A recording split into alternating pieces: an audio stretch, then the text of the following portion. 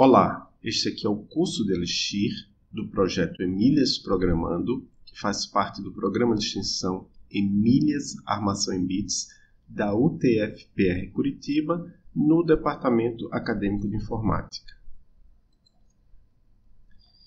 Neste curso a gente vai trabalhar com a linguagem de programação Elixir, que é uma linguagem de programação criada pelo desenvolvedor de software brasileiro José Valim.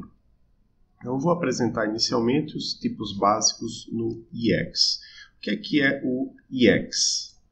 O IEX é o Elixir Interativo. Vamos digitar aqui, ó, eu abri um terminal no Linux, vem o IEX. Quais são os cinco tipos básicos que eu vou falar hoje? Primeiro tipo básico são os números inteiros. Então eu posso ter números inteiros positivos, eu posso ter o zero, posso ter um número inteiro negativo. E claro, eu posso fazer operações com esses números inteiros. O segundo tipo básico que a gente tra pode trabalhar é o tipo básico chamado de ponto flutuante. Então, são representações computacionais de números reais.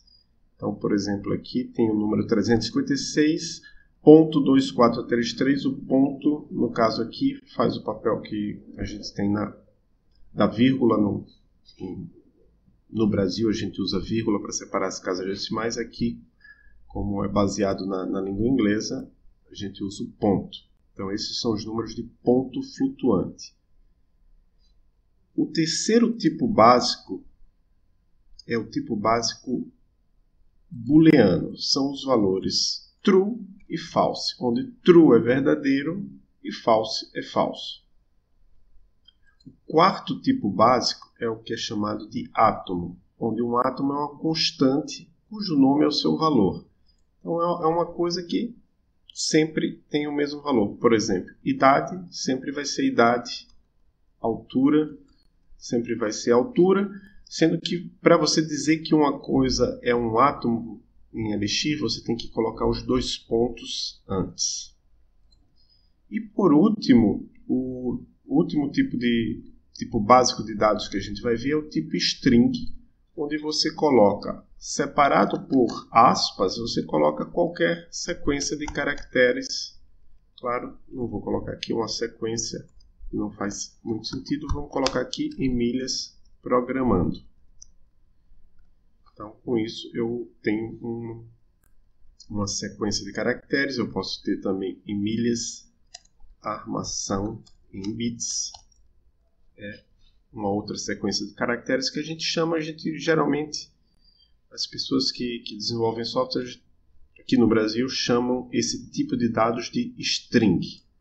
Então, recapitulando, são cinco tipos de dados básicos: números inteiros, que podem ser positivos ou negativos, números de ponto flutuante, eventualmente a gente chama de números reais mesmo, mas é, se você for estudar de forma mais avançada isso aqui, você vai ver que não é exatamente a mesma coisa que um número real, mas para os nossos objetivos é o suficiente saber que que a gente pode tratar como se fosse um número real, também podem ser positivos ou negativos, e tem uma casa desse, um ponto para separar das casas decimais, verdadeiro e falso, que são os valores booleanos ou valores lógicos.